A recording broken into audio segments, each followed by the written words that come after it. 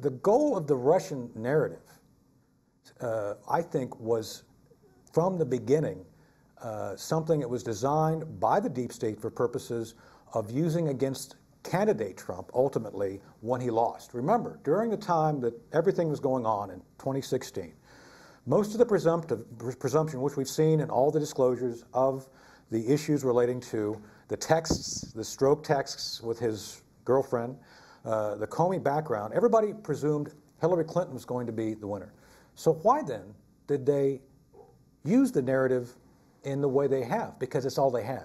Once President Trump was elected, they had to go with a narrative which was designed to be a stake in the heart of candidate Trump after the fact.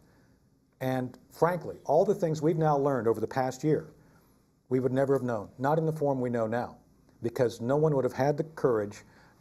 I'm sure, Jim, you would have had the courage, but you would not have had the support of the White House mm-hmm. to go in and do the hard work of tearing it all apart. So we have to now look at how this was possible. How was it possible for these senior members of the intelligence community to manipulate not only the media, but then by extension, the public opinion, the thinking. That's where the critical issues we have to address come forth.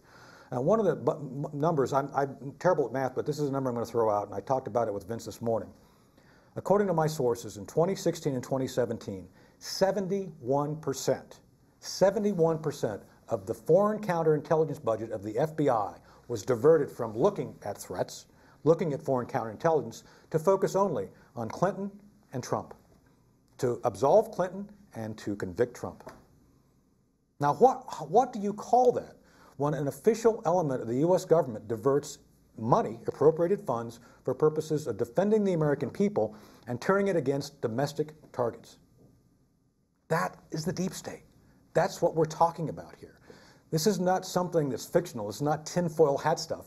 We can look at the stats. We can go back and do a study of what we've seen and figure it out.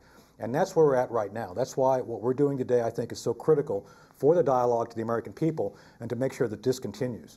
So, how did this all happen? One of the things I've noticed over the years, and I'll be very quick about this, is that the other side has continued to make investments in people. Essentially, they, they have put uh, political capital into getting their people into the system early and seeing them through. Lois Lerner being one of those political appointees who converted over to being a government employee. Another one, I was just doing a little research on before we went on the air, uh, you know, Jamie Gorelick. Jamie Gorelick was a DOJ uh, lawyer, and somehow she ends up over at Fannie Mae, a mortgage company making 26 million. So what, how does, this is what the deep state does. They actually find methods of trying to support the individuals they see as politically reliable and pushing them through. So now we're seeing, we've been experiencing over the past year, the in state results of investments of the left trying to do things to put people in place for purposes of maintaining control of nation state capabilities for purposes of political gain. That simply is what I believe that it is. So uh, all is not lost. Uh, I've heard from sources that not the, that when they did the raid on Mr. Cohen's office in New York, President Trump's attorney, there were some FBI agents who refused to participate. Once they figured out what was going on, they, they, they stopped. I want to talk to those men because those men know what's been going on behind the scenes. Mm-hmm. There are people who resist this all the time. And one, two last points. Chuck Todd said Sunday on the 22nd uh, Sunday morning, uh, prepping for his show, Meet the Who's Press. Chuck Todd? Chuck, Chuck Todd, uh, NBC uh, correspondent, uh, political operative correspondent, talked on. I was watching this, uh, this this past Sunday morning. This is what he said: D.C. is paralyzed from the Russian in, Russian investigation.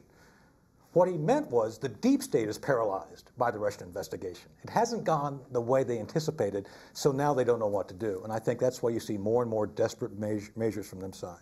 And the last point I want to make, and this is something pertinent to all of us because we've all known uh, what the government can do and not do regarding technology and intelligence collection. The U.S. government has immense technology and intelligence capabilities, immense.